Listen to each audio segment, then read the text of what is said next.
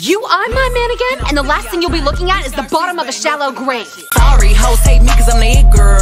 I ain't never asked to be the shit girl. Don't call me sis cause I'm not your sister. You really need to come and get your mister.